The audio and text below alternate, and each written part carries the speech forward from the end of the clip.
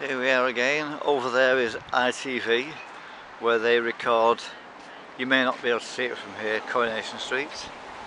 That's a Lowry Theatre. This is the river, canal boats and all sorts.